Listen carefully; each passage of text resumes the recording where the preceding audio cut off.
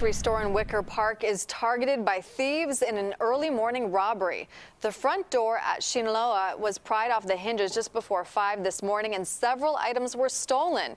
In the video, you can see an empty jewelry box. Shinola is known for its high-end watches, bags, and bicycles.